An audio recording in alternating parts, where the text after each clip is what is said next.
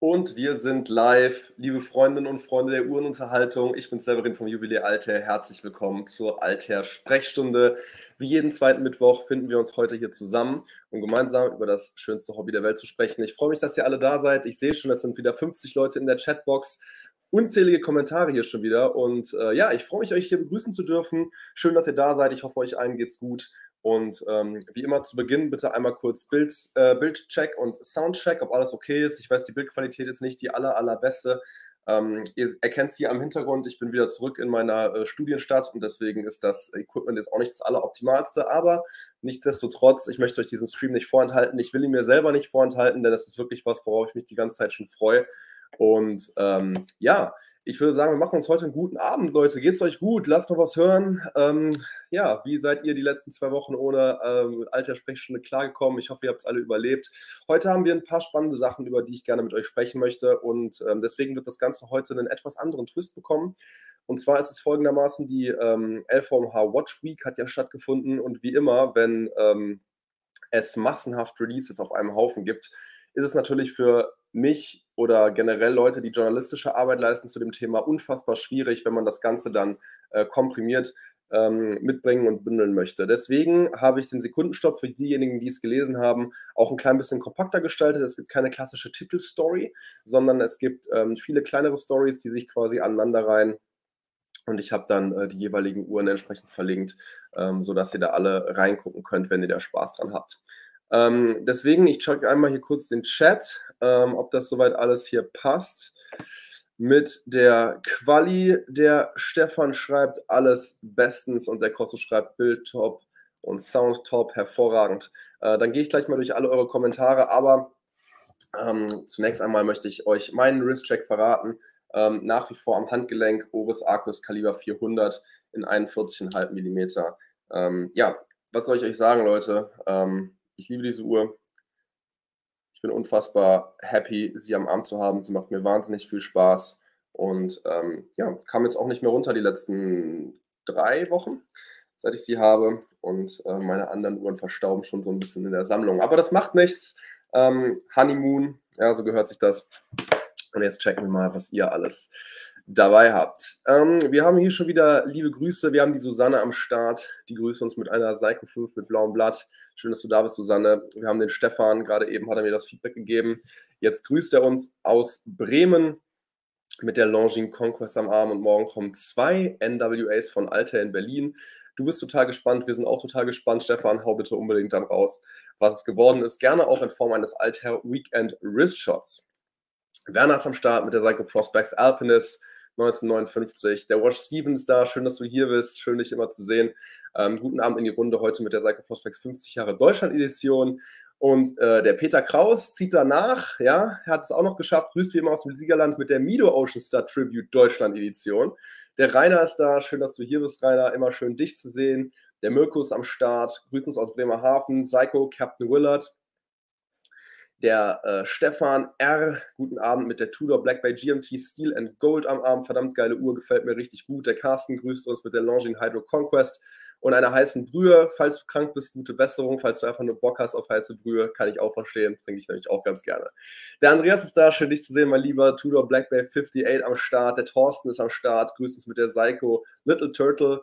Black Edition Türkis. Heute viele Psychos. Sehr, sehr gut. Gefällt mir. Florian ist am Start mit der Sinn 104. Gefällt mir auch eine sehr geile Uhr.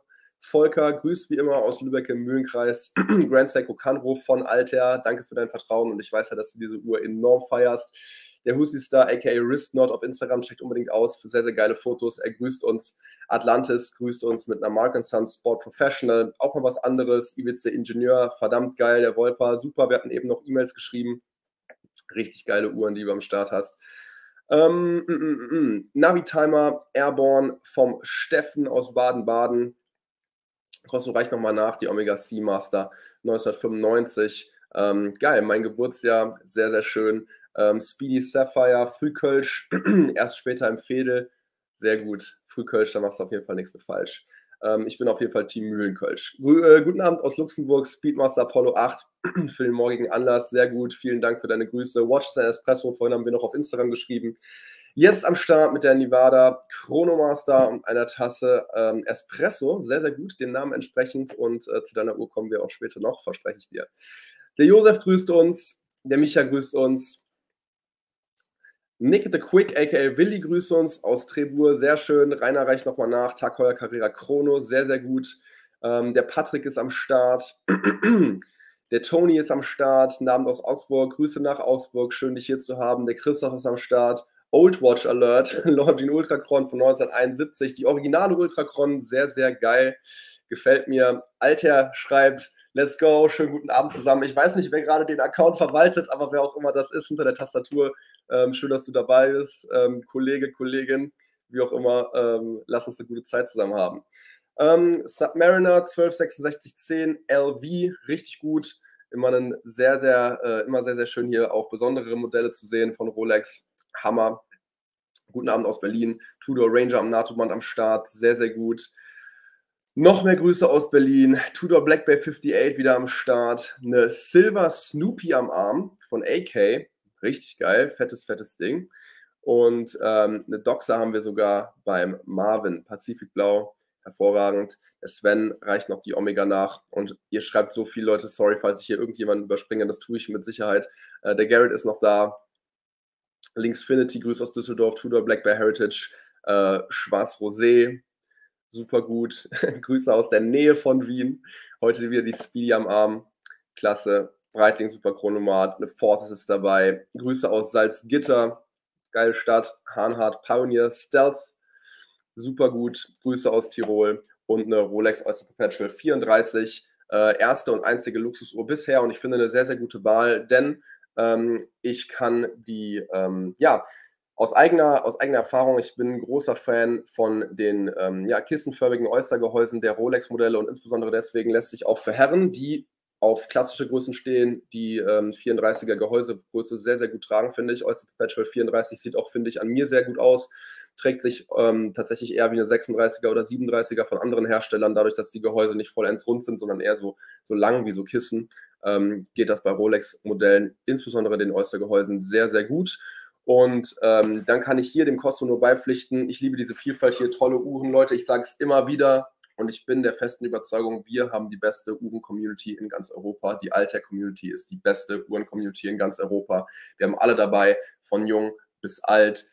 Männer sowie Frauen. Wir haben günstige Uhren, wir haben super teure Uhren, wir haben Quarzuhren, wir haben mechanische Uhren, wir haben alles da und jeder Uhr hier wird die gleiche Liebe zuteil und das ist, was ich hier liebe. Und deswegen habe ich immer Bock, alle zwei Wochen hier mit euch im Stream zu chillen. Und der Fischi gibt einen ganz wichtigen Hinweis, wenn ihr Bock habt, dass diese Sprechstunde noch lange Bestand hat, wenn ihr mir persönlich Feedback geben wollt, wenn ihr dem kompletten Team Alter vor und hinter den Kameras in den Büros, in den Produktionsräumen, in den Filialen Support geben wollt, dann lasst unbedingt unseren Videos, nicht nur meinen, sondern generell den Videos auf dem alten YouTube-Kanal einen Daumen nach oben da, denn das füttert den YouTube-Algorithmus und so bitter das ist, man muss dann leider doch so ein bisschen nach den Regeln des Internets spielen und ähm, ja, je besser der YouTube-Algorithmus uns natürlich ratet, desto mehr Content können wir euch bieten und ähm, desto mehr Spaß macht das hier auch langfristig mit uns allen. Leute, bevor wir wieder immer, äh, wie immer einsteigen, 111 Zuschauer an der Stelle. Super, dass ihr alle da seid und schöne Grüße an alle, die nachträglich einschalten. Wir starten mit den Community Wrist Shots, denn es geht hier nicht nur um die Uhren, die ich euch mitbringe, sondern es geht auch um die Uhren, die ihr tragt. Und ich gebe euch hier die Plattform, sie der Community mitzubringen. Wie immer eine kleine, feine Selektion. Hier unten könnt ihr sehen, wie ihr teilnehmen könnt, wie auch ihr eure Uhr in der Alter-Sprechstunde platzieren könnt.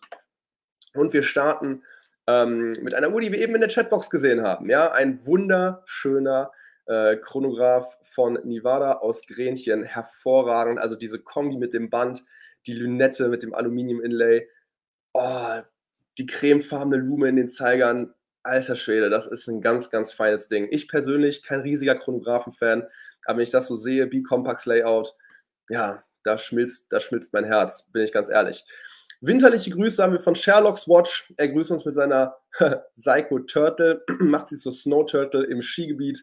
Das gefällt mir. Hervorragend.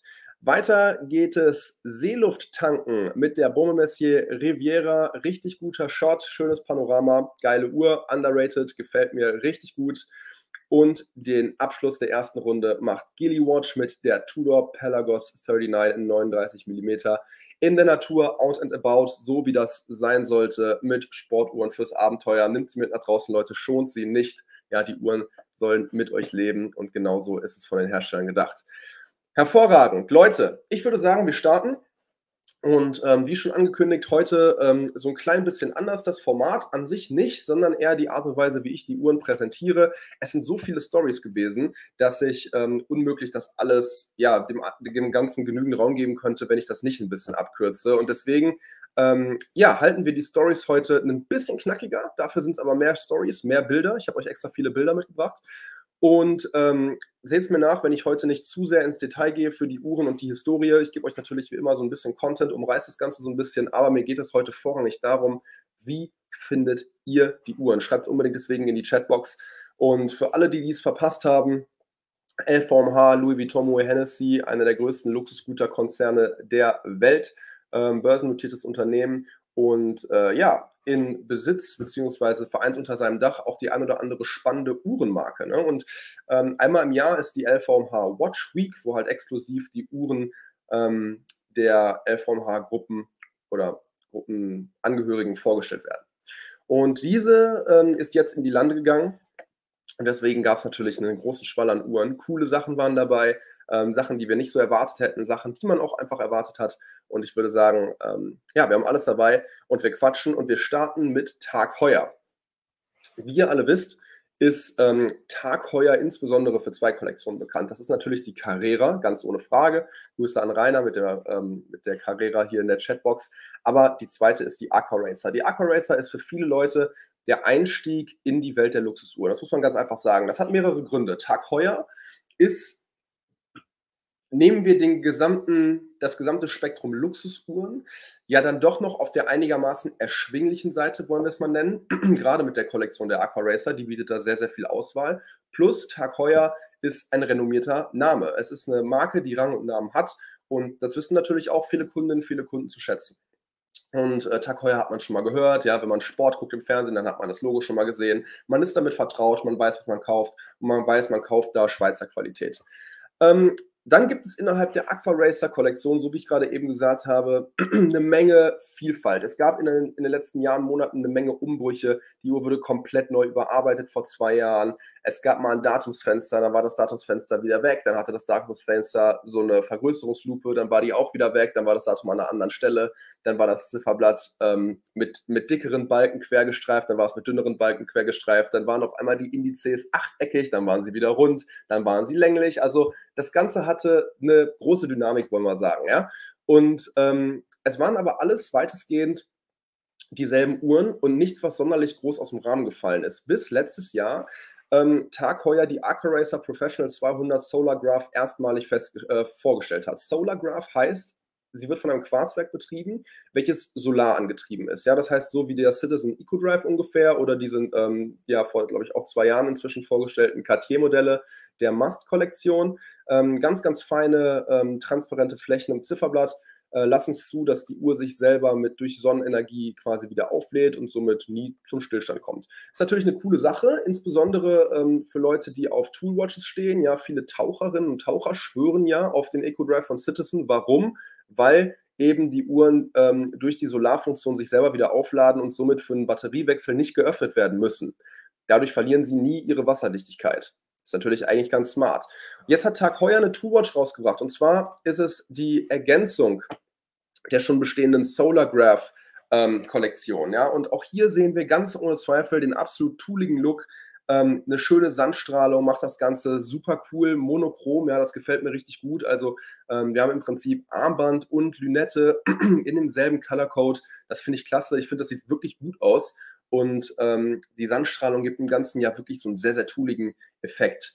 Was man nicht übersehen kann, wenn man auf diese Uhr guckt, ganz ohne Zweifel, ist der Grundwerkstoff. Sie besteht nämlich aus Titan.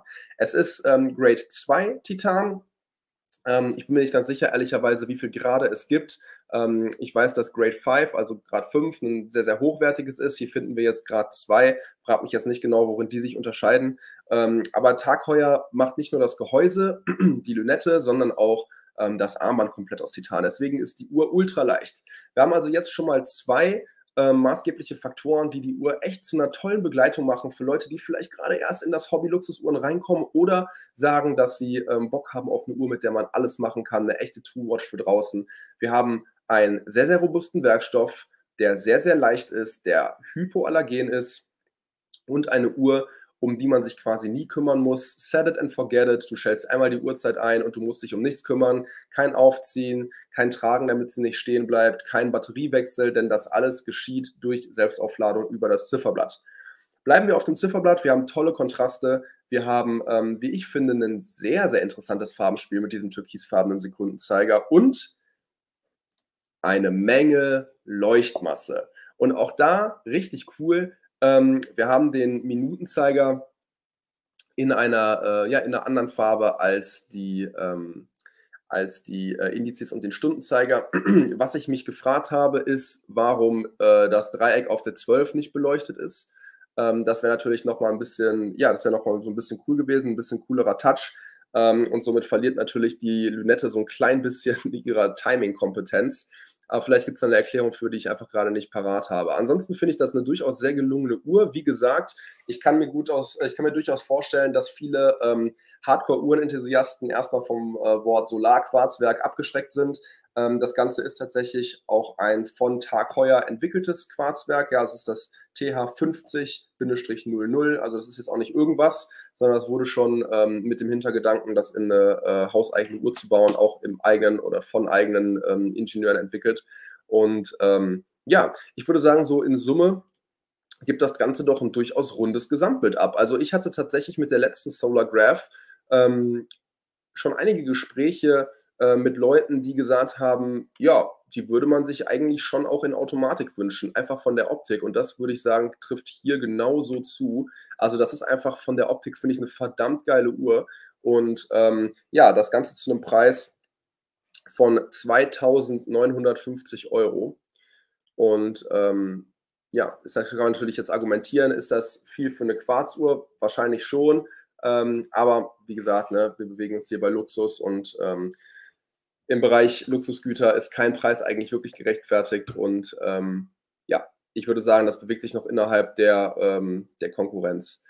Aber ich bin gespannt, was ihr dazu zu sagen habt. Eine kleine Ergänzung noch. Die erste Solar Graph war nicht aus Titan. Die war nämlich, glaube ich, aus Edelstahl und die war ähm, DLC beschichtet für so einen schwarzen Look. Und die DLC-beschichtete Uhr aus Edelstahl und jetzt die Titan-Variante kosten beide mit 2950 Euro exakt dasselbe. Finde ich auch interessant. Und ähm, ja, da liegt natürlich der Value in der, ähm, in der Titan-Variante. Die Heuer sieht gut aus, schreibt der Peter. Und zu später Stunde gesellt sich der Jean-Luc zu uns mit seiner JLC Master Ultra Thin Moon am Arm. Schön, dass du da bist. Schön, dich hier zu haben. Ähm, der Stefan schreibt mit Tag Heuer Carrera hat meine Sucht angefangen. Ja, war bei vielen so, war bei vielen so. Also ähm, ich weiß, mein Mitbewohner, dessen erste Liebe war auch die Tag Heuer Carrera und es geht vielen so. Der Wolper schreibt Monaco, stimmt, habe ich, hätte ich eben nicht vergessen dürfen. Ja, äh, Wenn es um ikonische Uhren aus dem Hause Tag Heuer geht, darf man natürlich die Monaco nicht vergessen. Und ähm, ja, die ist natürlich mindestens genauso ikonisch wie die Carrera.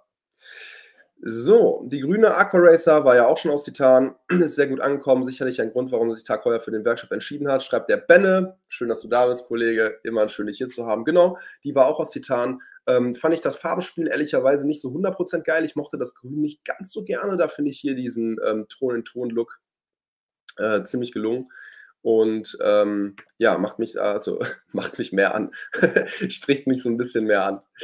Marvin schreibt, scheint, als sieht man doch mal wieder Stahl, in diesem Fall Titanduletten, nachdem eine Zeit lang alles in Richtung Keramik ging. Ähm, ja, fairer Punkt, stimmt. Habe ich so noch gar nicht betrachtet. Ähm, was kostet Lachs? 2950 Euro. Patrick schreibt, mir gefällt Titan sehr gut. Ich trage meine Omega sehr gerne. Ähm, und Susanne schreibt, Design und Funktion gefallen ihr gut. Ja, ich weiß gar nicht ehrlicherweise, warum aber ich werde mit Titan als Werkstoff nicht so 100% warm. Ich glaube, das hängt ein bisschen auch mit Gewohnheit zusammen. Ähm, wenn man die ganze Zeit das Gewicht von der Uhr am Arm spürt und dann legt man eine Uhr aus Titan um, die dann auf einmal so leicht ist, fühlt sich das vielleicht erstmal ungewohnt an. Ich glaube, das ist ein Tragegefühl, an das man sich ähm, gewöhnen müsste. Ähm, aber ja, ich glaube, bietet schon viele Vorteile. Vor allen Dingen, wenn man halt wirklich Bock hat, einfach eine Uhr am Arm zu haben, um wirklich eine Uhr in ihrer Funktion am Arm zu haben. Ja, wenn man wirklich sagt, man, man macht Sachen, man ist draußen unterwegs und möchte einfach nichts, was einen stört, ist, glaube ich, Titan eine sehr, sehr gute Wahl. Der Chatter bemerkt richtigerweise, farblich ist die Lume die umgedrehte SMP 300. Das stimmt. da sind die äh, Stunden- und äh, Minutenzeigerfarben vertauscht. So. Mm -mm -mm Benne schreibt, habt ihr eine Ahnung, wie lange eine Solar-Quarz-Batterie hält? Ich weiß es nicht. Vielleicht kann da hier das Hive Mind, das, das Schwarm, Schwarmgedächtnis äh, unserer Community hier mal aushelfen. Wie groß ist die? Vielleicht kann ähm, mir da der, ähm, der Benne Auskunft geben, aber ich meine 40 mm. Wenn ich mich richtig erinnere, ist die 40 mm groß. Genau. Vielk hatte die Frage gestellt. Ich meine 40 mm, falls ich da daneben liege, korrigiert mich gerne. So, von der Optik top, als Automatik. Das sehe ich auch ähnlich. Und der Volker schreibt, interessante Uhr. Für mich würde Quarz nur von Grand Seiko in Frage kommen. Ja, das sagen ja viele. Und ähm, das ist durchaus eine Meinung, die ich auch teilen kann. Wenn man sagt, man geht auf Quarz, dann vielleicht sogar von denen, die es am allerbesten machen. So, der Ulrich ist dabei. Schöne Uhr. Viel für Quarz und Automatik noch interessanter. Sehe ich auch so. Optikhammer, Preishammer. Tagweiß Leichtgewicht muss man mal ausprobieren. Leuchtmasse gefällt on top. Das fasst es doch schön zusammen. Und ähm, ja, ich sehe hier schon in der Chatbox, gibt eine Menge, eine Menge, ähm, eine Menge Tagheuer Aquaracer-Fans. So, wir haben hier äh, Antworten auf die Frage von Benne bezüglich der Lebensdauer der Batterie. Bei Citizen schreibt der Watch Steven circa sechs Monate, bei Cartier 16 Jahre. Mirko schreibt, seit 2004 das Citizen ProMaster Solar Batterie geht heute noch.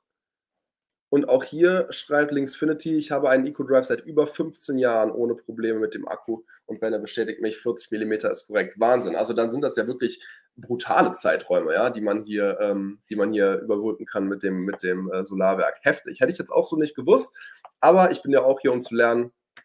Klasse. Danke an euch. Leute, wir machen weiter. Die nächste Vorstellung ist nämlich eigentlich überhaupt keine Uhr.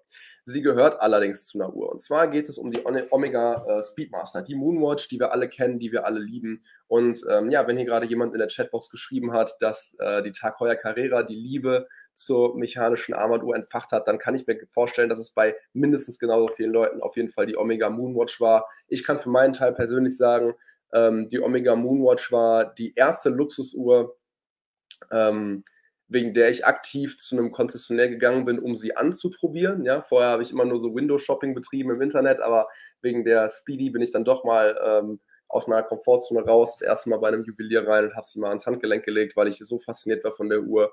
Und ähm, ja, die Speedmaster wurde ja im Jahre 2021 neu aufgelegt. Ähm, wir haben eine Menge Updates bekommen, sowohl äußerlich als auch innerlich. Und ja, es ist auf jeden Fall mit das heißeste Modell von Omega ähm, und absolut zu Recht. Tolle Historie, verdammt geile Technik im Inneren ähm, und eine super charmante Uhr einfach, ja. Ich liebe sie. Ähm, was man vermisst hat bei der Vorstellung bzw. bei der Überarbeitung im Jahre 2021 war eine Schnellverstellung in der Schließe. Ähm, das war so ein Kritikpunkt, wo Leute gesagt haben, das ist in Anbetracht dessen, was Omega mit der Speedy gemacht hat, mit diesem Rundumschlag, mit dieser vollständigen Überarbeitung, ist das zu vernachlässigen und das geht eher so in die Kategorie, wäre schön gewesen, wenn, ist aber jetzt nicht so tragisch. Ähm, bis dann im selben Jahr später die Speedmaster Chronoscope vorgestellt wurde, die dann in ihrer Schließe ein Schnellverstellsystem hatte. Und dann haben natürlich die Leute gesagt, Mensch, das hätte ich mir doch für die Speedy auch gewünscht. Und ja, wie das so sei, wie das dann halt so ist, ähm, Leute sind erfinderisch ja, wurde sich dann ähm, das Chronoscope-Armband bestellt, es wurden sich Zwischenglieder bestellt, es wurden sich Schließenteile bestellt und dann wurde sich die Schnellverstellungsschließe von der Chronoscope irgendwie an die Speedmaster dran gebastelt. Das ging, das ging aber nicht so 100%. Die Teile waren nicht so wirklich einfach zu beziehen, aber findige Leute ähm, ja, mit geschickten Fingern haben es irgendwie trotzdem hinbekommen und äh, ich habe in vielen Foren gelesen, dass es auch durchaus seinen Job gemacht hat, aber es war natürlich eher so eine, ja, so eine Notlösung, vielleicht so ein bisschen hölzern und ähm, das Ganze direkt an einem, ähm, ja, an einem Armband an der Uhr geliefert zu bekommen, wäre dann natürlich die wünschenswertere Variante gewesen. Jetzt ist Omega diesen Wünschen nachgekommen und hat für ihre legendäre Moonwatch ein neues Armband auf den Markt gebracht, nämlich eins mit einer Schließe mit Schnellverstellung. Es gibt sogar gleich zwei neue Armbänder mit äh, ja, zwei individuell verschiedenen Ausführungen. Einmal ein komplett gebürstetes Armband und einmal eins mit polierten Zwischengliedern. Ist dann jeweils ein klein bisschen unterschiedlich im Look. Ähm, und das Armband kann an bereits gekaufte Uhren für 760 Euro nachgerüstet werden. Wenn man sagt, man möchte nur die Schließe nachbestellen, kostet die 200 Euro. Ähm, die Schließe ist ein bisschen größer geworden. Sie ist von 29 auf 30 äh, mm länger geworden und ähm, ja, die Proportionen der Schwingarme im Inneren haben sich so ein bisschen verändert. Also ähm, ja, hier im Prinzip diese Konstruktion, wenn ich das mal an meiner Uhr zeigen kann, da hat sich ähm, das Ganze so ein klein bisschen in den Proportionen des mittleren Schwingarms zu seinen beiden Äußeren verändert aber ähm, nichts Weltbewegendes. Die Schließe sieht nach wie vor genau gleich aus, ja, schön schlank mit diesen, äh, mit diesen vertikalen Schliffen und dem Omega-Logo. Sieht super aus. Und eine gute Nachricht würde ich sagen für Speedy-Fans, denn jetzt habt ihr eine Möglichkeit, eine Speedmaster mit Schnellverstellungsschließe zu kaufen, beziehungsweise das Band nachzurüsten. Was ich allerdings nicht genau weiß, ist, ähm, und da können mir hoffentlich die Leute irgendwie aus dem Sales äh, weiterhelfen, wie das denn aussieht mit der Auslieferung ähm, ob ab jetzt quasi alle neuen Speedmaster-Modelle mit dem neuen Armband kommen und welche der beiden Armbandoptionen, also das gebürstete oder das teilpolierte, denn dann da auch standardmäßig verbaut sind, ähm, würde mich dann mal echt absolut interessieren. Habe ich nämlich leider keine Ahnung von. Vielleicht weiß da jemand was. So, der Wolper schreibt erstmal, er würde sich nicht mehr die mit Hesalit-Glas holen. Ja, wahrscheinlich wegen der Kratzer, ne? kann ich mir vorstellen. Ähm, ja, ich bin da auch immer so ein bisschen hin und her gerissen. Auf der einen Seite ist natürlich Hazalitglas mit Massivboden die originale Speedmaster. Ähm, auf der anderen Seite wahrscheinlich irgendwie auch nicht mehr so ganz zeitgemäß. Wenn man sagt, man will die Speedmaster als seine tägliche Uhr haben, ist es wahrscheinlich irgendwie besser, die Saphir-Variante zu nehmen. Und das Werk äh, ist eigentlich auch zu schade, um, ähm, um versteckt zu bleiben. So, hier haben wir den äh, den Hussi, der schreibt Chronoscope, genau, das war eine verdammt, das ist eine verdammt geile äh, Uhr und das war ein verdammt geiler ähm, Release. Und der Volker schreibt etwas, was sehr, sehr wichtig und sehr, sehr richtig ist hervor und sehr hervorhebenswert. Ähm, cool, dass Omega auf die Community hört. Das sehe ich genauso. Also es ist wirklich nicht selbstverständlich, dass ähm, Konzerne gerade im Bereich der Luxusgüter auf Endkonsumentinnen und Endkonsumenten hören. Umso cooler, dass Omega das macht. Und ähm, ja, ich finde auch den absolut, äh, der absolut richtige Schritt. Die DeVille und die Constellation werden vernachlässigt, schreibt der Peter. Ähm, ich würde nicht sagen, dass die vernachlässigt werden. Das Marketing wird nur für den europäischen Markt vernachlässigt. Ähm, die DeVille und die Constellation sind beides ähm, Modelllinien, die im ostasiatischen Markt sehr, sehr gut laufen ähm, und die Produktion und das Marketing wird halt dementsprechend dahin geschiftet. Ähm, also die haben mit den beiden Kollektionen keine Absatzprobleme, Omega, ähm, nur halt nicht auf dem zentraleuropäischen Markt. Jo, mm, mm, mm. Omega Constellation findet der Andreas mega, das stimmt. Ich finde die auch super, sieht richtig gut aus. So, Omega ist einfach klasse und ich glaube, äh, dem gibt es wenig hinzuzufügen. Und die Bronze Gold Chronoscope ist traumhaft und preislich in Ordnung, meiner Meinung nach. Ja, ich finde die Chronoscope, die ähm, bietet tatsächlich super viel, super viel Value. Ähm, ich sehe da auch ähm, echt eine, eine, sehr, sehr gute Uhr drin. So, der Ulrich schreibt auf die ähm, Hesalit gegen Saphirglas Debatte. Die Zeit ist weitergegangen, daher Saphir aus dem will ich, wenn das schöne Laufwerk sehen. Genau dafür schenke ich die Historie her. Und das ist, den, das ist auch der Trade, den ich wahrscheinlich machen würde, würde ich irgendwann mal in die Versuchung kommen, mir die Uhr zu kaufen. Ähm, kann ich bestätigen, Thailand, Hongkong sieht man wenig Speedmaster und viel mehr der Constellation im Laden. Ja, ja, ganz genau. Ganz genau. Das unterstreicht das ja. Ähm, aber ja, stimmt. Du warst ja jetzt erst vor kurzem da, Marvin. So, alles klar. Ich würde sagen, wir machen weiter, aber an dieser Stelle erstmal danke für 145 Zuschauerinnen und Zuschauer draußen an den Bildschirmen. Schön, dass ihr da seid. Push es unbedingt weiter. Ja, es geht nach vorne. Wir werden mit jedem Stream mehr Zuschauer und ich hoffe, wir haben einen, ähm, ja, einen guten ähm, Abend heute zusammen. Und für alle, die die später einschalten, schön, dass ihr da seid. Und ähm, es ist natürlich nie ein Problem, die alte Sprechstunde im Review später zu gucken. Ja, ähm, die nächste Uhrenmarke, die gerade in den letzten Jahren enorm hohe Wellen schlagen konnte und auch hier bei uns natürlich bei Altair und in der Altair Community ist Cartier. Cartier ist ähm, als Marke zu uns gekommen, als wir unsere Filiale in Berlin neu eröffnet haben. Und das ist eine Marke, auf die wir unglaublich stolz sind. Und das hängt gerade im Bereich der Uhren natürlich damit zusammen, dass Cartier, obwohl viele Leute, man muss es wirklich sagen, die von außen auf die Uhrenindustrie gucken, ich habe sogar schon mal Leute sagen hören, Cartier sei eine Fashion Watch Brand, ähm, wo ich mir dann an den Kopf fassen musste. Ja, natürlich in erster Linie ist ähm, Cartier heutzutage ein, ähm, ein, ein Schmuck, eine Schmuckmanufaktur ähm, und die meisten Leute werden Cartier auch mit Schmuck assoziieren. Dennoch ähm, ist Cartier aus der Uhrenindustrie nicht wegzudenken. Ähm, wenn wir an die Santos Dumont denken, ja, die erste Fliegeruhr, die erste Sportuhr, mit die erste Armbanduhr überhaupt, die es für Männer gab.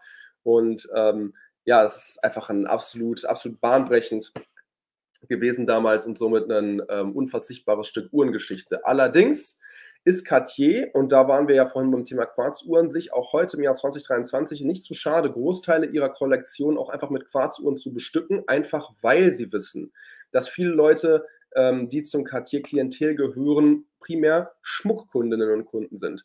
Und ähm, ja, denen geht es dann häufig halt nicht wirklich um das mechanische Innenleben einer Uhr, sondern um ein schönes Stück ähm, ein schönes Accessoire, was im Prinzip ein Outfit abrundet. Und deswegen ist Cartier sich nicht zu schade, Quarzwerke zu verbauen. Und so ist es auch jetzt in vielen, aber nicht allen Uhren der neu aufgelegten Cartier Tank Française Kollektion, die ich euch hier präsentieren möchte. Mehr als 25 Jahre nach der ursprünglichen Einführung, die war nämlich 1996, wurde nämlich die ähm, ja, Kollektion jetzt komplett überarbeitet.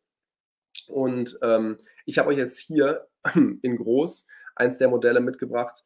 Ähm, und ja, das habe ich gewählt und genau dieses Bild, weil ich eben anhand dessen unterstreichen möchte, was die äh, Tank Française halt ausmacht.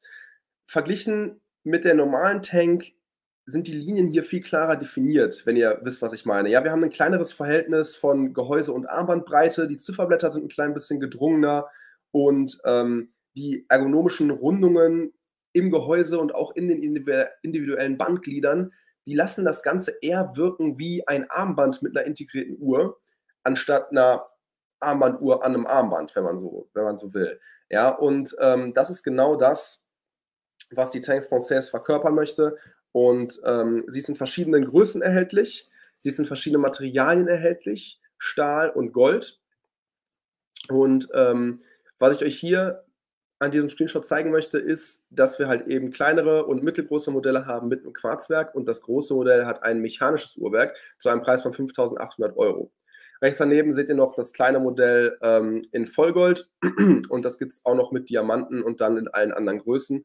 Ähm, ja, und dann natürlich sieht man am Kre ähm, Preis, wofür man da das Geld bezahlt, ist natürlich für das Material. Aber ich würde sagen, was ähm, uns hier interessiert, ist als äh, Uhrenenthusiasten die mechanische Tank Française.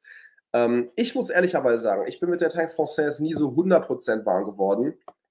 Einfach weil ich eben finde, dass sie so ein bisschen ähm, aus dem Kontext gerissen aussieht. Einfach weil ich finde, sie, sie verkörpert halt nicht so 100% das, was ich in einer Armbanduhr suche, wenn ihr wisst, was ich meine. Aber durchaus eine spannende Kollektion und ich habe sie euch mitgebracht, weil eben die ähm, Rezeption innerhalb der Uhren-Community doch sehr, sehr positiv war. Ähm, ja, das Design können wir vielleicht auch noch drauf eingehen, sticht ja direkt ins Auge eigentlich, ist auch ein klein bisschen anders als das der üblichen Tankmodelle. Wir haben hier eine sehr, sehr tief ins Gehäuse eingelassene Krone. Ne? Auch das ähm, etwas, was neu ist für die Kollektion jetzt. Und ähm, ja, die Uhr ist fast vollends gebürstet. Ne? Auch das ist irgendwie ganz interessant. Aber ähm, ja, mich würde interessieren, wie findet ihr die Kollektion? Wie findet ihr die Tank Française? Und ähm, kann sie mit den herkömmlichen Tankmodellen für euch konkurrieren? Für mich persönlich nicht. Ich mag die anderen herkömmlichen Tankmodelle lieber. Ähm, aber das finde ich auf jeden Fall einen sehr, sehr interessanten Release. Ich zeige euch hier nochmal die anderen.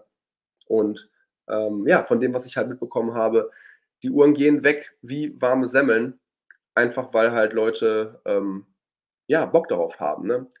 Und ich hatte heute noch ein interessantes Gespräch mit einem, äh, mit einem Kumpel, dass es halt eben ähm, sehr vielen Leuten einfach auch, und da sind wir vielleicht hier in unserer kleinen Uhrenbubble so ein bisschen verblendet, es ist den Leuten egal, ob ein mechanisches Werk drin ist oder nicht. Ja, die wollen eine Armbanduhr zum Ablesen der Zeit. Und wenn es noch von Cartier ist und dabei noch gut aussieht, dann ist es umso besser. Und ob da jetzt ein mechanisches Uhrwerk drin ist oder nicht, das ist den aller, allermeisten Leuten auf diesem Planeten echt richtig egal. Und ähm, auch wenn das unser einem schwerfällt zu glauben, aber äh, Cartier weiß, wie man das spielt. Cartier weiß da sein Publikum, seine Kundschaft zu bedienen und das machen sie richtig gut. Und ähm, dementsprechend gibt es bei Cartier äh, mit den meisten Releases immer eine ordentliche Ladung Quarzpower dabei. Und das finde ich auch vollkommen in Ordnung. So. Ich habe den Vorgänger letztes Jahr meiner Frau geschenkt. Das war ihre absolute Grey Watch, schreibt der Wende. Geil. Ich erinnere mich sogar. Stimmt. da war ja was. Ähm, bin gespannt auf die neue Tank Française, äh, sie mal live zu sehen. Peter schreibt die Größen bitte. Also ich habe die Größe für das automatische Modell, weil ich das das Interessanteste fand. Und das ist ähm, 36,5 mal 30,5 Millimeter. So. Ich glaube, dass Cartier die Tank Française erstmal in einer, äh, erstmals in einer Herrenversion vorgestellt hat. Fand die echt nicht schlecht am Handgelenk von Rami Malik, dem Botschafter. Ja, das Video habe ich gesehen. Ähm, und du hast recht, jetzt, wenn ich so drüber nachdenke. Die Tank Française gab es davor nur für Damen. Ja, stimmt. Du hast absolut recht. Das ist wahr. Dankeschön für die Ergänzung. So. Die aktuellen mechanischen Kartierwerke sind der Hammer, sau robust und sehr ganggenau, schreibt Tomega. geiler, geiler Handle. Es ist einfach ein Schmuckstück. Ähm, Française ist nicht mein Ding, aber Cartier Ballon Bleu ist klasse. Mit Cartier werde ich einfach nicht warm. Äh, die Uhr ist sehr schön, aber das Band gefällt mir null. Äh, Susanne findet sie gut. Und der Traum von Wolper ist eine Drive extra flach. Ähm, Finde ich auch die geilste Cartier, muss ich sagen. Gefällt mir auch am besten. Ja, also ich sehe auch hier bei euch solche und solche Meinungen, genauso soll es ja sein. Aber ich denke, Cartier, ein Big Player, nicht zu vernachlässigen. Und deswegen habe ich euch die ganze Geschichte mitgebracht. Ähm, wir machen weiter und zwar mit einer anderen Uhrenmarke, die hohe Wellen schlagen konnte. Und zwar geht es um Zenit. Und wenn ihr hier diese Uhren seht auf diesem Bild, dann wisst ihr schon genau, worum es sich dreht. Es dreht sich um die Zenit DeFi Skyline Skeleton in 41 mm. Brutale Uhren. Ganz ehrlich, ich finde die ähm, Skelettierung der ähm, ja, man kann fast sagen, die Skelettierung der LVMH-Gruppe, weil sowohl Zenit als auch Tag Heuer als auch Hublot gehen sehr, sehr ähnlich vor, finde ich, bei der Art und Weise, wie sie Uhren und insbesondere Zifferblätter skelettieren. Ähm, und ich finde, es sieht immer übertrieben geil aus. Denn ich bin grundsätzlich nicht der allergrößte Freund von Skelettierung, weil ich halt häufig das Gefühl habe, dass da auf Teufel komm raus alles weg äh, skelettiert wird und ähm, am Ende der eigentliche Nutzen einer Uhr, nämlich das Ablesen der Zeit, irgendwie zu einer Sache der Unmöglichkeit wird. Ähm, aber ich finde gerade bei den Uhren hier, wenn man sich das mal anguckt, äh, da werden eigentlich keine Kompromisse gemacht, oder? Ich meine, irgendwie ist das, hat das Zifferblatt trotzdem Integrität. Durch die kleine Sekunde unten behält das Ganze halt irgendwie auch seinen ursprünglichen Touch. Die Skelettierung steht nicht so super krass im Vordergrund. Ähm, und das Ganze wird einfach ultra sportlich, super futuristisch. Und wenn ich ganz ehrlich mit euch sein soll, gefällt mir die skelettierte Variante deutlich besser als die Variante ohne Skelettierung. Ähm, ich habe neulich einen sehr, sehr interessanten Input bekommen und das hat mich ein bisschen zum Nachdenken gebracht, denn das, was die was dazu geführt hat, dass ich mit den regulären DeFi Skyline Modellen nicht 100% warm wurde, ist, dass sie zu sehr aussahen wie eine Konzeptuhr. So nach dem Motto, was fehlt uns noch in der Kollektion und wir maßschneidern diese Uhr, die ist eigentlich perfekt, die hat alles, die kann alles, Top-Materialien, Top-Verarbeitung, Top-Uhrwerk, alles stimmt, aber sie sieht halt so ein bisschen aus wie, ähm, ja, so, halt so, so, so ein Industrieprodukt. Halt perfekt designt, perfekt umgesetzt und da ist die perfekte Uhr. Und ich finde, diese skelettierte Variante, die hat so viel mehr Charakter. Die hat irgendwie so dieses gewisse Brachiale, aber gleichzeitig ist sie halt doch noch irgendwie sportlich und ist ein Hingucker und durch diese Skelettierung halt irgendwie auch ja nicht ganz so aalglatt, Vielleicht könnt ihr nachvollziehen, was ich meine. Ich finde die richtig geil. Die macht mir eine Menge Spaß. Ich persönlich finde äh, die blaue ähm, besser, also schöner für meine Augen. Und ähm, ja, hat Zenit in meinen Augen einen ganz, ganz großen Wurf gelandet. 41 mm Stahlband oder Kautschuk. Und diejenigen, die es kennen, wissen, Zenit macht mitunter die besten Kautschukbänder am Markt. Ähm, dank des El Primero Kalibers im Inneren ähm, sehen wir unten auf 6 Uhr ein Foudrion das heißt blitzende Sekunde auf gut Deutsch, ja, also eine ähm, Sekunde, die sich mit einer rasenden Geschwindigkeit bewegt, einfach weil das Uhrwerk es hergibt. Und ähm, das Ganze kostet 11.800 Euro. Und bevor ich mir jetzt eure Meinung dazu einhole, ähm, habe ich noch eine zweite Vorstellung von Zenit dabei, die ich euch auch einfach noch kurz hinterher schmeißen möchte, nämlich, wo wir gerade von den regulären Modellen reden, ähm, ist jetzt auch was dabei für die kleineren Handgelenke. Nicht unbedingt für Damen, denn ähm, aufgrund der Farbwahlen können auch durchaus Herren diese Uhren tragen. Und was ich richtig cool finde von Sneed übrigens, ist, dass sie sowohl die 36 mm Varianten als auch die 41 mm Skeleton-Varianten an männlichen und weiblichen Handgelenken bewerben. Ne? Finde ich sehr, sehr gut. Genauso soll es sein. Ähm, hier schlägt im Inneren, ähm, und ihr könnt es daran erkennen, dass wir eine Zentralsekunde haben, eben kein El Primero-Kaliber, sondern ein Kaliber der Elite-Serie. Und die Uhren kosten 9100 Euro. Wie gesagt, 36 mm in Blau, in Hellgrün, in Pink. Und ähm, ja, vielleicht ist da ja für den einen oder anderen, die ein oder andere auch was dabei. Ähm, ich finde sie eigentlich echt ganz cool und finde hier die äh, pinke Variante tatsächlich auch ziemlich ansprechend. Genau, hier habe ich nochmal ein Bild der schwarzen Skelettierten und ähm, rechts könnt ihr sehen, wie die am Handgelenk sitzt. Und ich finde, die macht durchaus was her. Finde ich super. Was sagt ihr? So, jetzt muss ich scrollen, so viel wie ihr geschrieben habt. So, ich mag die normale DeFi Skyline viel lieber. Skelettierungen sind einfach nicht meins, aber die neue Skyline ist interessant, schreibt der Stefan.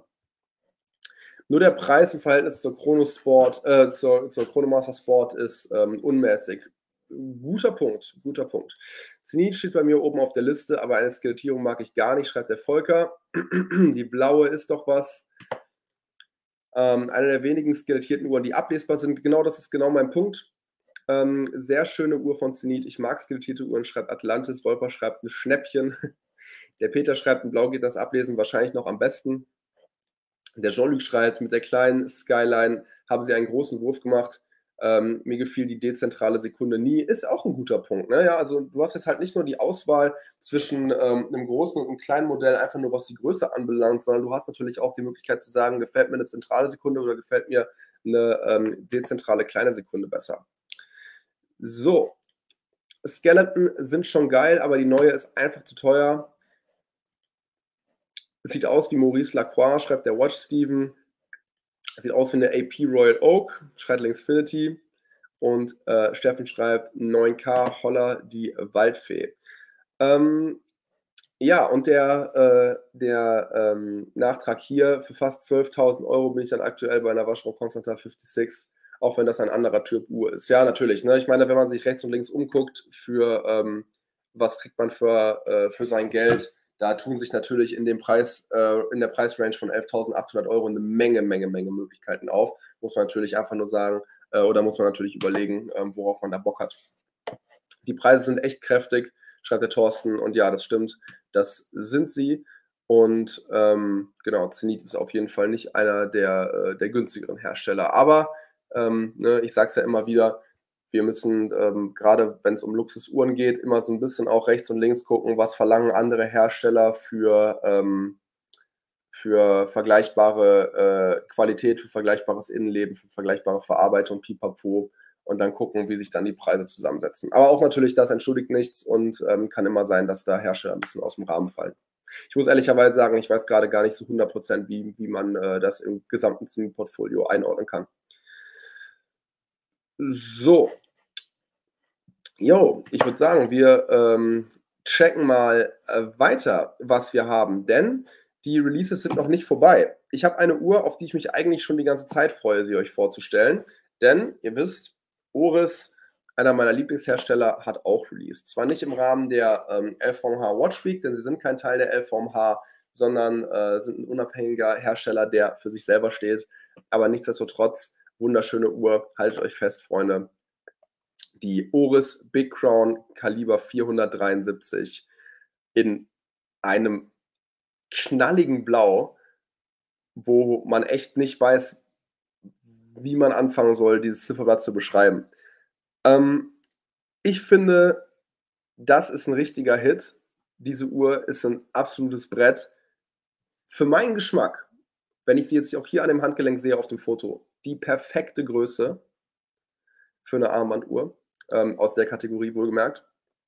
Super gute Farbwahl, ikonisches Modell, tolle Ablesbarkeit, tolles, ähm, tolles Armband und ähm, alles in allem wirklich ein, ein ganz, ganz großer Wurf. 38 mm am Durchmesser, 50 Meter Wasserdichtigkeit. Nicht erschrecken, es sind nämlich wahre 50 Meter Wasserdichtigkeit, denn die Krone ist verschraubt. Ja, also das ist ähm, eine wirkliche Gewährleistung, dass man die Uhr tatsächlich bis ähm, ja, ein bisschen, bisschen, ich will nicht sagen härter rannehmen kann, aber dass die doch ein bisschen Wasser ab kann, kein Problem. Dieses hellblaue, matt gekörnte Zifferblatt habe ich hier nochmal für euch in der, in der Großaufnahme mit der, ähm, mit der roten Spitze in Kontrast vom Zeigerdatum. Unglaublich viel Leuchtmasse auf den Zahlen, auf den Skalen, auf den Zeigern, die übergroße Krone, die vertikale Bürstung auf den Hörnern und im Inneren das auf dem Kaliber 400 basierende Kaliber 473 mit ähm, ja, fünf Tagen Gangreserve und einem Handaufzug. Sieht fantastisch aus. Gangreserveanzeige haben wir noch auf der Rückseite. Echt eine klasse Uhr. Und auch hier seht ihr auf dem Armband ähm, das äh, Käfer-Logo. Ähm, und das ist das Logo von Cervo Volante. Und das ist ein äh, schweizerischer Hersteller aus der italienischen Schweiz, ähm, seit einigen Jahren schon enger Partner von Oris, die aus ähm, im Prinzip Jagdabfällen, wenn man so möchte, nachhaltige Uhrenarmbänder herstellen. Ja, das heißt, ähm, die ähm, kaufen Tierhäute ab, die äh, von gejagten Tieren im Prinzip übrig geblieben sind und äh, geben die in eine Gerberei und machen dann die Armbänder daraus. Alles quasi lokal produziert, nachhaltig erwirtschaftet, dadurch, dass es ähm, ja im Prinzip aus dem Forstbetrieb geschossene Tiere sind. Und ähm, hier nicht sichtbar, aber wir haben eine Schmetterlingsschließe mit Feinverstellung, sogar für diese Armbanduhr. Ich zeige sie euch hier nochmal auf diesem, diesem Bild. Und ähm, ja, 4200 Euro kostet das gute Stück. Und da würde mich eure Meinung interessieren. Aber ähm, ich habe schon gesehen, die Chatbox fliegt. das heißt, entsprechend habt ihr viel geschrieben. Und wir gucken mal, was ihr zu sagen habt. Muss ich ganz schön scrollen. Ähm, mm, mm, mm. Tiffany natürlich schreibt ähm, der Hussi. Ja, klar, habe ich auch zuerst dran gedacht, wobei ich schon sagen würde, es ist eher, es ist ein bisschen anders wahrscheinlich. Ne? Es ist nicht dieses typische Türkis, es ist irgendwie schon doch ein bisschen mehr hellblau. Ähm, gut geworden, schöner Farbton, Babyblau, ein Traum, vor allem das Werk, leider zu klein für mich, schreibt der Watch Steven. Ja, da kann man nichts machen. Ähm, schöne Uhr, aber definitiv mindestens 3 mm zu klein. Ähm, mir hat bei der alten der Pointer-Zeiger besser gefallen. Der aktuelle hat mich eher an einen GMT-Zeiger, schreibt der Andreas. Ja, fairer Punkt. Ähm, Oro ist einer der besten Marken, oft unterschätzt. Wollte mir die grüne Arcus holen, aber fand eine schwarze Lünette schöner. Ich hatte auch die Wahl, ob ich mir ähm, die grüne oder die blaue hole und mir hat in äh, Live und in Farbe dann auch die blaue mehr zugesagt. Toller Glasboden, finde ich auch. Sieht sehr, sehr gut aus. Und ähm, ja, der Volker schreit, die Oris sieht sehr vintage aus. Das Armband passt perfekt dazu, das finde ich auch. Ich liebe Handaufzug, schreibt Susanne Schön, ja, finde ich auch, sieht sehr, sehr gut aus. Übrigens eine der äh, ja, Modifikationen, sage ich mal, ne, warum die Uhr aus der 400er Serie ist. Die klassische 400 hat ja ähm, den Automatikaufzug und die Variante mit Zeigerdatum ähm, und Handaufzug heißt dann entsprechend 473. So, tolle Uhr. Bei der Pointer Date wäre ich eher bei der alten Bronze Kaliber 400 gerne die Pro Pilot X mit schönen Aprikose. Ähm, das ist, glaube ich, die Uhr, die der Flomp hat, ne? der Florian, und der hat sie neulich äh, reviewed auf seinem Kanal. Auch eine verdammt geile Uhr und sehr interessantes Konzept von Oris auf jeden Fall. So, die Preise wurden dreimal innerhalb von zwölf Monaten erhöht, schreibt der Jean-Luc. Klärt mich auf, ich weiß gerade gar nicht, worau, äh, über welche Uhr ähm, ihr sprecht. Ja, und ähm, Miss Flashkey reicht nach, JLC Polaris Chrono 2018 10.400 Euro am Start und aktuelle 14.400 Euro. Ach so, es geht wahrscheinlich um Preiserhöhung. Sorry, da habe ich den Anschluss verpasst hier eben im, äh, in der Chatbox. So schnell kann es gehen. Ja, also ich muss sagen, ähm, nach drei Wochen Tragezeit meiner Oris ist die Marke mir noch viel, viel mehr sympathisch, also viel sympathischer geworden, als sie es ohnehin schon war. Und ähm, ich finde es richtig cool, was sie, ähm, ja, was sie machen, ähm, dass sie die komplette Nachhaltigkeitsschiene auch echt authentisch fahren in meinen Augen, dass sie äh, wirklich da viel Herzblut, viel Kreativität und viel Ideenreichtum reinstecken.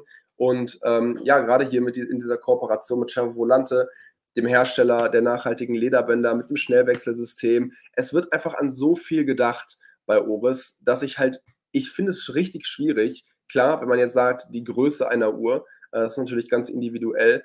Aber wenn man rein objektiv die Uhren betrachtet, tue ich mich immer, immer schwerer damit, Punkte bei Oris zu finden, die man kritisieren könnte, ehrlicherweise. Die Umsetzung ihrer Ideen ist top, Erfinderreichtum ist top, die Kollektion ist super, gut aufgestellt von allem was dabei. Ähm, bleibt eigentlich kein Wunsch offen, tolles Marketing, stehen für sich, ähm, gehören keiner Gruppe an, sind total individuell. Jetzt mit dem Inhouse-Kaliber der 400er Serie ähm, auch nochmal einen absoluten Hit gelandet. Und ich wüsste nicht, was man an Oris nicht mögen könnte, nicht mögen sollte. Und ähm, ja, deswegen bin ich natürlich auch so ein klein bisschen voreingenommen, immer wenn Oris released. Aber die wollte ich euch nicht vorenthalten. Und ich habe auch gesehen, dass die im Internet echt verdammt gut weggekommen ist, diese Uhr. Ähm, und ja, es ist auch, wenn ich sie mir jetzt hier angucke auf den großen, auf dem großen Monitor, ähm, gefällt sie mir auch echt verdammt gut. Ja, klasse. Leute, ich würde sagen, wenn ihr noch mehr Uhren auschecken möchtet, empfehle ich euch unbedingt ganz, ganz, ganz, ganz wichtig. Alter.de und dann in die Rubrik Magazin, in die Rubrik Sekundenstopp. Checkt das unbedingt ab, denn dort findet ihr das komplette Archiv mit allen Sekundenstopp-Ausgaben, die ich jemals geschrieben habe, akribisch archiviert. Und in jedem Sekundenstopp gibt es Uhren, über die wir hier in der Sprechstunde nicht sprechen, einfach weil es zu viele sind. Und ähm, wenn ihr da Bock drauf habt, checkt unbedingt ab. Ich teaser mal kurz, wir haben noch Neuvorstellungen von Vulcane, von Gira Perigot, nochmal von Sneed und von Hublot. Also wenn ihr da Interesse daran habt, checkt unbedingt vorbei ähm, und guckt auf unsere Website. Und jetzt würde ich sagen, bevor wir das ganze Ding hier zumachen, gibt es die zweite Runde Community Wrist Shots, denn ich habe noch weitere schöne Fotos von euch bekommen und wir starten mit Ownwatch Photographs mit seiner äh, Circular an einem Milanese-Armband. Auch etwas sehr, sehr eigenes und sehr, sehr anderes. Ich persönlich stehe auch, er schreibt es auch, aber ich persönlich stehe auch auf Diver am Milanese-Armband. Sieht sehr, sehr gut aus. Ich weiß, dass der Watch Tommy momentan seine ähm, SMP 300 auch an einem Milanese-Band trägt. Sieht sehr, sehr gut aus. Die Uhr macht sich daran verdammt gut. Und äh, ja, Circular scheint ja eine Marke zu sein, die jetzt gerade echt so ein bisschen Aufwind bekommt, denn ich sehe sie vermehrt an euren Handgelenken. Ähm, für mich fast das Foto des Abends, muss ich sagen. Ähm, Watchography mit seiner Seiko oder seiner Grand Seiko SBGX 33.9. Wunderschöne Kontraste. Ähm, ich finde, das, das Bild sieht so unfassbar stimmig aus, schön arrangiert, knallig und ähm, ja, die, äh, die Grand Seiko Diver so brachial wie eh und je. Und ein letztes und mindestens genauso farbenfrohes Foto aus dem Schnee. Ähm, aus Fischenich, das ist ja ganz bei mir in der Nähe, der Urbiker mit seiner Tagheuer Aqua Racer in knalligem Orange. Richtig cooles Ding. Danke fürs Mitmachen und ich kann nach wie vor nochmal sagen, wenn auch ihr möchtet, dass ich eure Uhren hier in der Alter-Sprechstunde zeige, dann unbedingt auf Instagram den Hashtag Alter Weekend Wristshot benutzen. Severin.gieswein.alter.de könnt ihr mir eure Fotos schicken, wenn ihr kein Instagram benutzen könnt, benutzen wollt oder schlichtweg keinen Account habt. Ähm, bin ich auch immer sehr empfänglich für. Ich kriege sehr, sehr viele Bilder auch per E-Mail. Diesmal war nicht so viel dabei. Die letzte Sprechstunde dafür zum Beispiel umso mehr. Und ähm, ja, dann würde ich sagen, machen wir das ganze Ding hier rund, liebe Leute. Ich ähm, bedanke mich dafür, dass ihr heute hier alle wieder so fleißig vertreten war. Das hat mir eine Menge Spaß gemacht. Und ich habe, ähm, ja, ich habe jedes Mal Bock darauf, mit euch hier zu quatschen, in Kontakt zu treten. Und ich würde sagen, ähm, ich verbleibe mit den besten Grüßen, den besten Wünschen für euch. Bleibt alle gesund, passt auf euch auf. Und ich würde sagen, wir sehen uns in zwei Wochen wieder, wenn es wieder heißt, und wir sind live und es in die nächste Runde geht für die Alter Sprechstunde. Leute, bleibt wie ihr seid. Macht's gut bis dahin. Euer Severin. Ciao, ciao.